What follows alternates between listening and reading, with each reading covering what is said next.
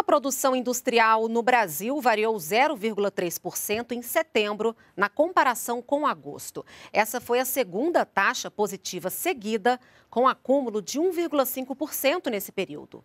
11 dos 26 ramos pesquisados apresentaram crescimento, entre eles veículos automotores, vestuário e bebidas. Os dados foram divulgados agora há pouco pelo IBGE.